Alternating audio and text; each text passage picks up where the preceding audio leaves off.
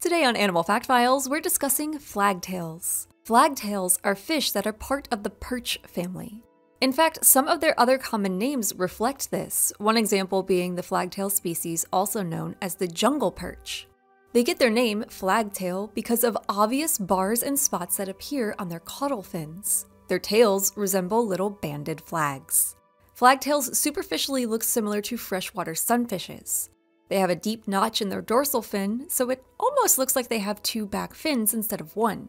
This is similar to the wavy dorsal fin of sunfishes.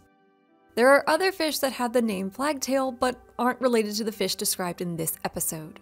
While they also have a colorful banded tail, they're pretty easy to tell apart just by looking at their dorsal fin. See how this flagtail has a long pointed dorsal fin? This particular flagtail lives in the Amazon River basin. The flagtails that are part of the perch family swim in both fresh and salt water around coasts of the Indo Pacific region. They're found as far into the Pacific as the Hawaiian Islands. Most flagtails swim no deeper than 60 feet below the waves. They live on reefs, but they also inhabit brackish water estuaries, and some species swim upstream into flowing freshwater rivers, so they can tolerate a wide range of salinity. One of the threats they face is the introduction of dams across the rivers and streams they frequent, cutting off their access to vital habitats. Flagtails are also caught by humans and eaten either fresh or dried out and salted. It's likely they're also taken by larger fish, although flagtails at their full size can get pretty big. Some flagtails can reach more than a foot long, while others average a few inches shorter.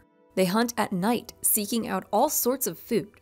Flagtails eat crustaceans and smaller fish, but they also eat insect larvae and frogs. This is especially worth noting for flagtails native to Australia, where their presence can help reduce invasive cane toad populations. The fish eat cane toad tadpoles. Flagtails also eat adult insects as well as fruit and flowers that fall into the water. It's not uncommon for flagtails to eat these meals directly from the water's surface. In general, flagtails prefer to stay closer to the waves than down towards the water's bottom. They often form tight shoals with multiple members as they move about. They're described as movement driven fishes and likely don't ever stay in one place for too long.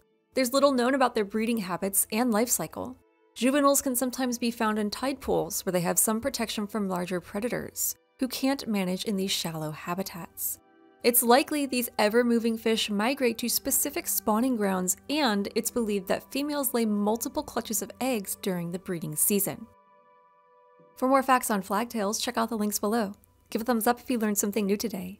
Thank you to our patrons, SpikeSpiegel93, Dad, and everyone else for their support of this channel. And thank you for watching Animal Fact Files.